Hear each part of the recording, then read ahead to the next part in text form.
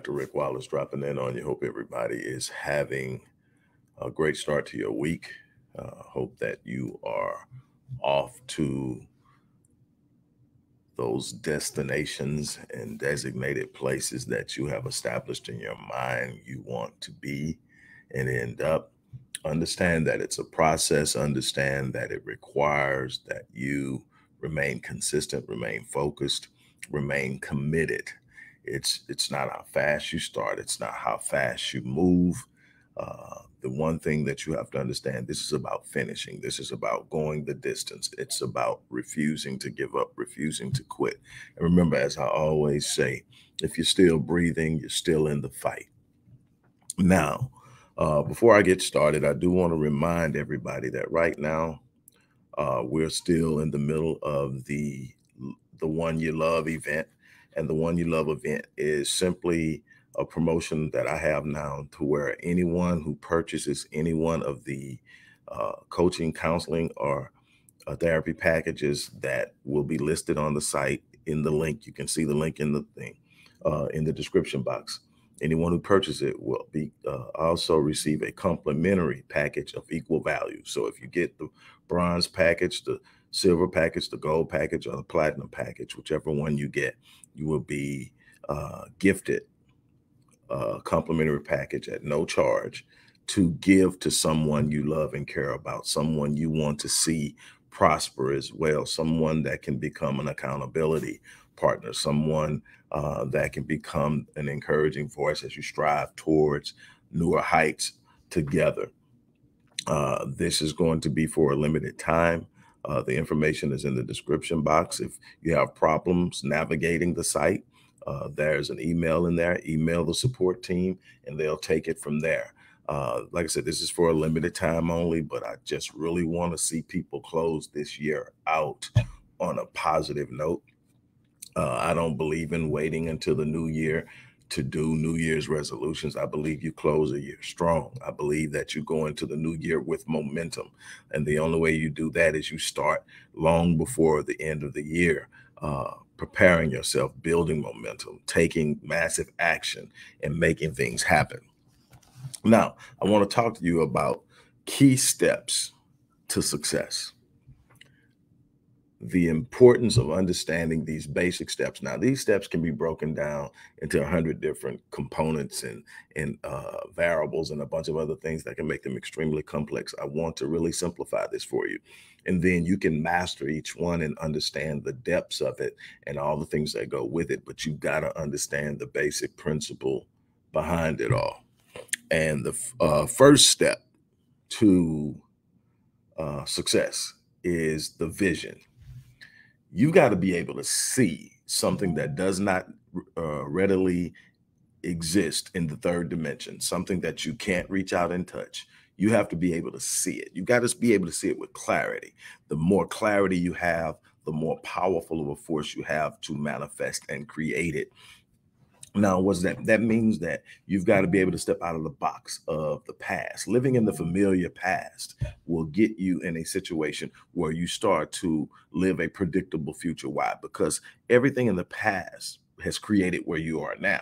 So if you consistently focus on the past, you will consistently repeat the cycle of the behaviors, the thoughts, the ideas, the beliefs, the limitations, and everything else that created your behavior and your actions. You only behave based off of your core held beliefs. So if you believe something is possible or you believe something is impossible, it will have a massive impact on your actions.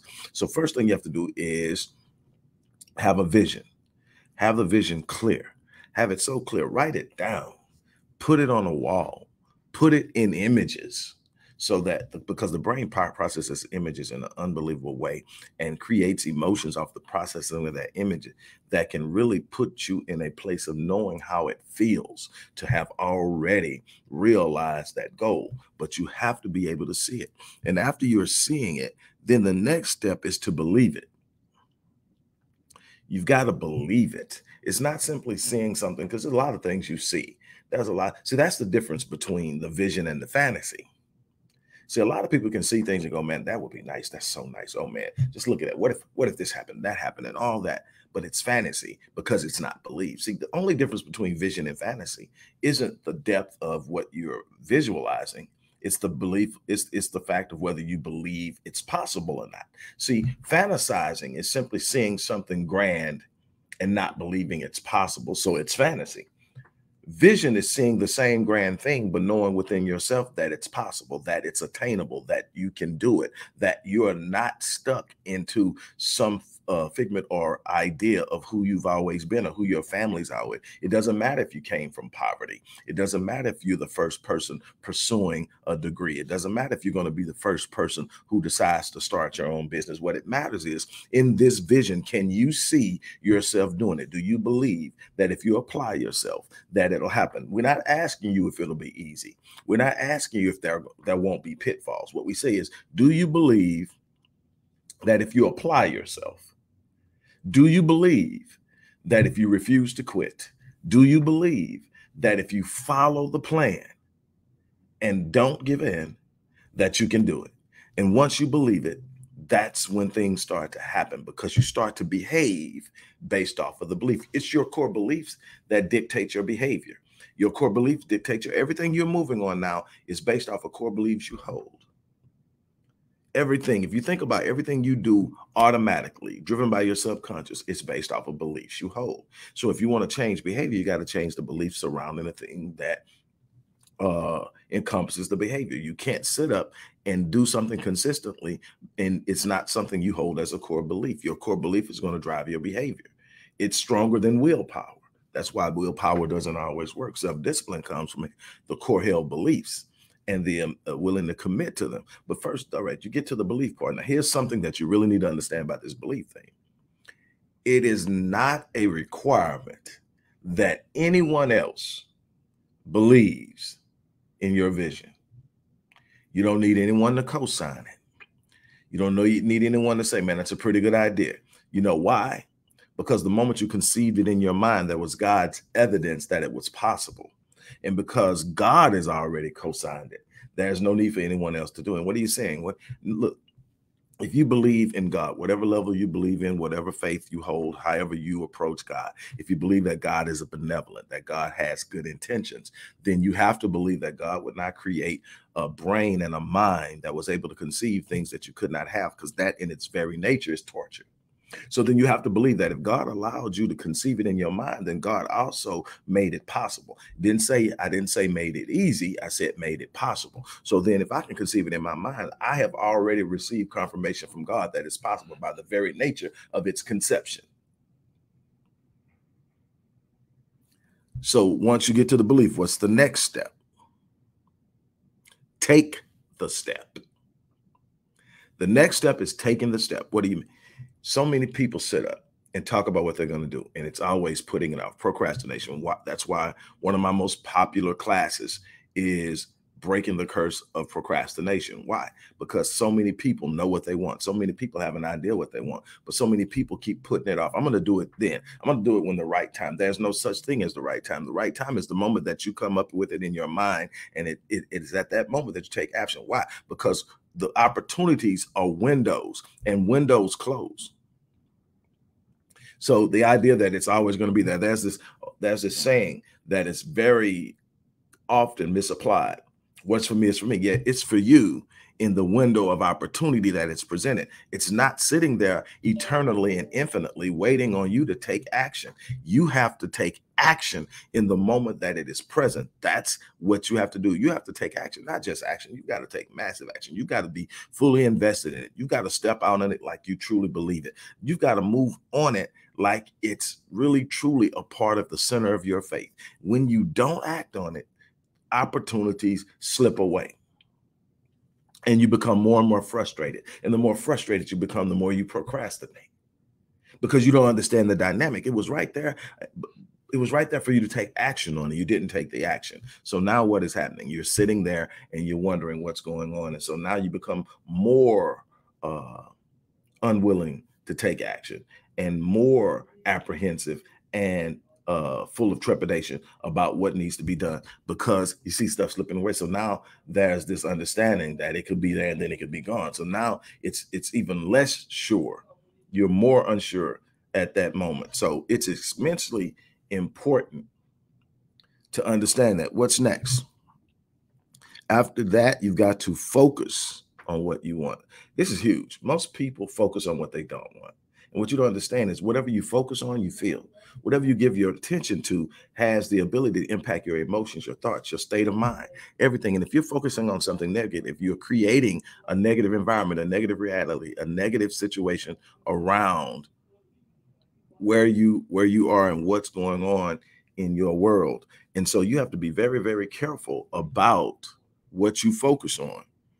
Next, you got to have a clear understanding of your destiny and or your destination. Where are you headed? What is it you're trying to get to? What's the clear destination? Why is that important? Because when you understand your destiny or your destination, now you can examine your, your and, and, calibrate your direction. What direction are you traveling in? See, when you know your destination, you can look at your direction and say, "Well, I'm I'm traveling in the opposite direction. I'm traveling in a way that I'm never going to get there. I'm going to have to calibrate my direction because direction determines destination. And if I don't change my direction, I'm guaranteed not to hit the desired destination. My destination will end up being somewhere else that I probably am not satisfied with or fulfilled in.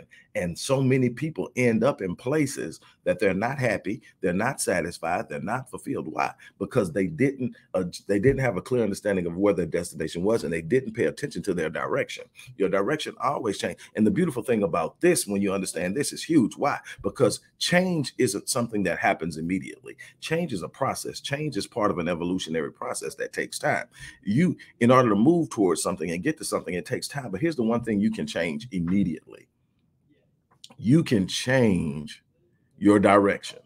That's the one thing you can change right now. You can look up and say, you know, where I'm headed right now is not going to get me where I want to go. I've got to stop. I got to start moving towards that. I've got to start reading books in this area. I've got to start interviewing people, talking to people. I've got to start studying this. I've got to start becoming. Why? Because you don't get what you want, you get what you become. You get who you are. If you're not capable of producing it, you can want it all day, but you won't have it. You've got to become that person. You've got to become who that who, who who it is you desire to be in order to have the things you desire to have.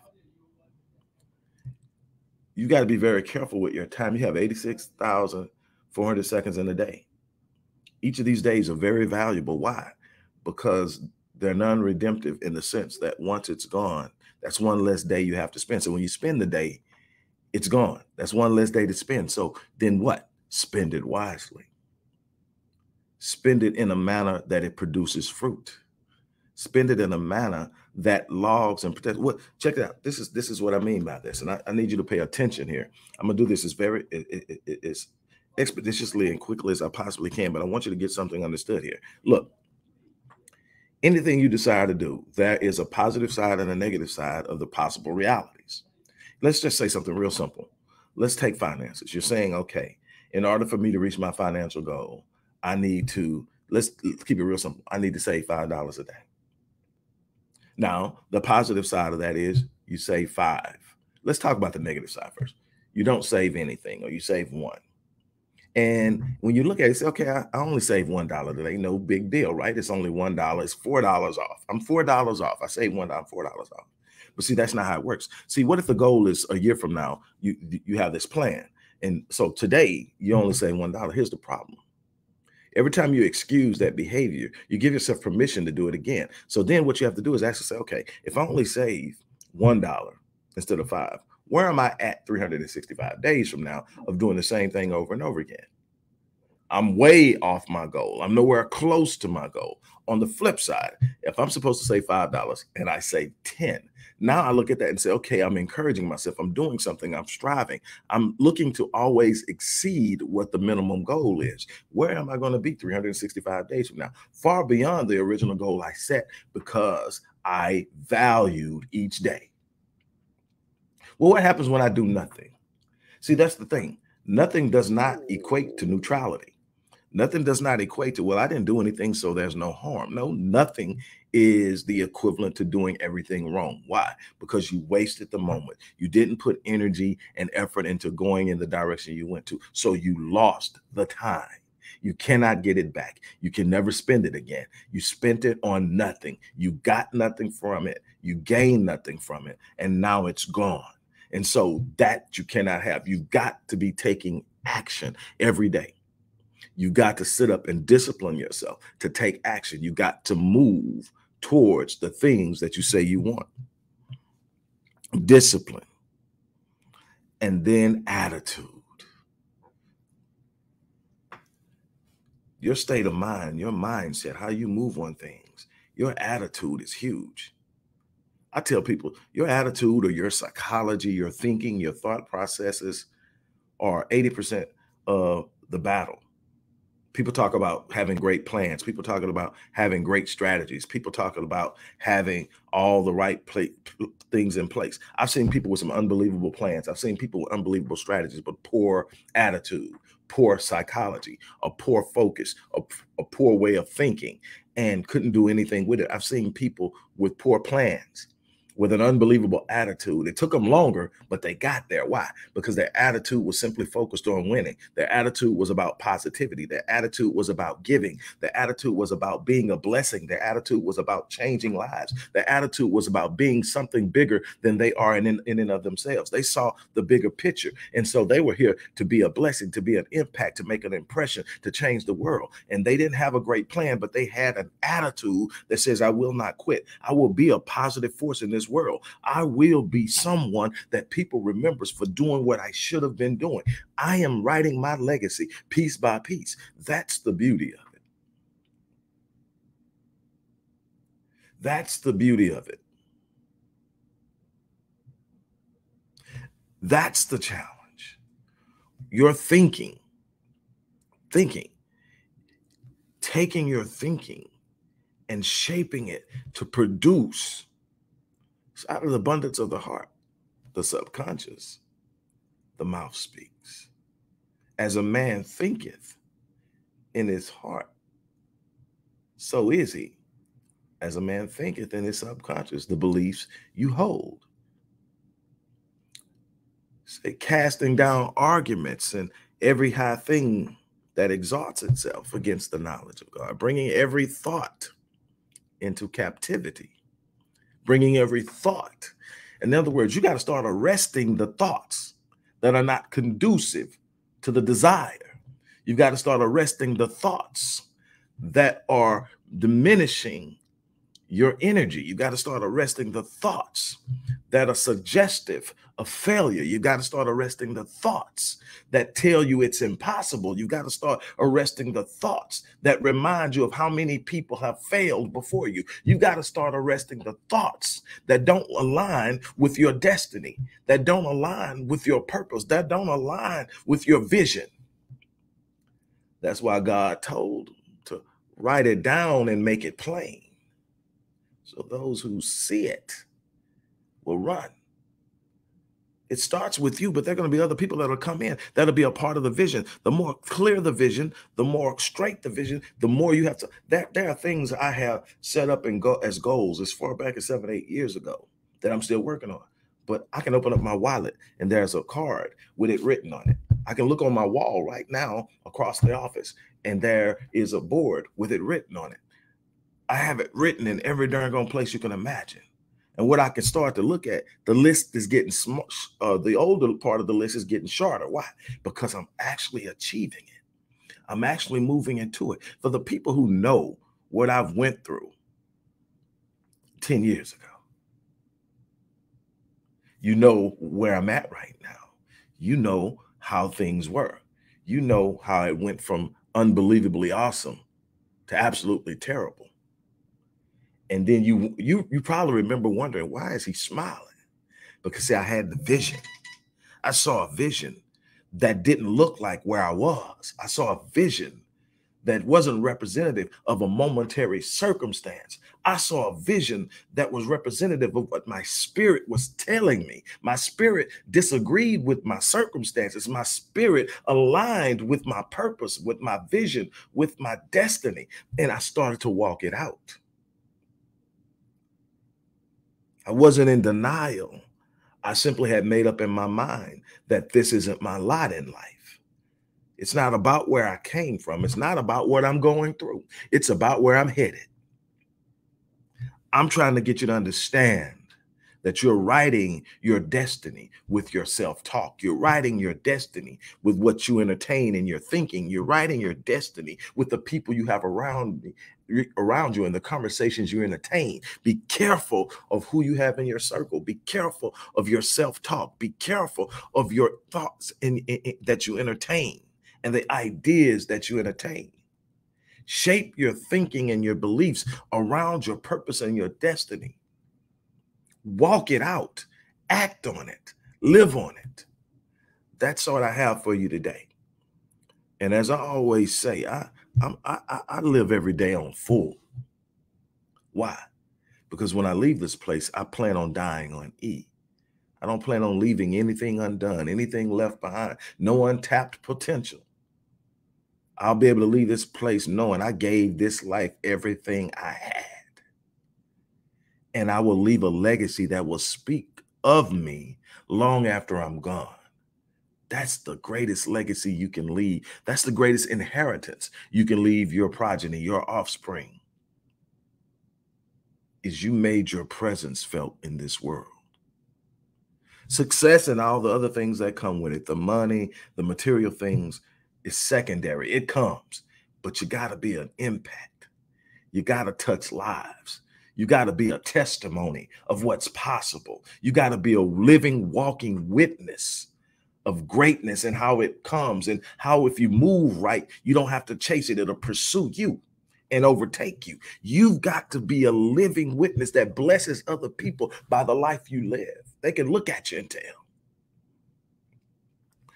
on that note, I'm gonna get ready to get off. Don't forget, uh, the one you love uh, event is going on right now.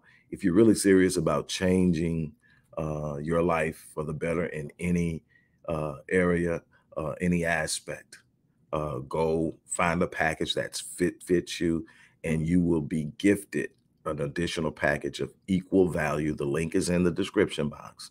You will be gifted a package of equal value to give to someone else to bless them so that you both can close out this year on a positive note. And that's my gift to you. On that note, I'm out of here. You guys have an unbelievable. Uh, I'm asking now as we push a fundraiser that you support what the Odyssey Project is doing in the inner cities, uh, especially with programs like Black Men Lead, which is a rite of passage uh, initiative and Restoring Ghetto for, Ghetto's Forgotten Daughters, which is a program focused on helping young girls, but boys as well, suffering from childhood sexual abuse, uh, rape, molestation, domestic abuse, uh, absentee fatherhood, and so many other things. Uh, the information will be in the box. Thank you.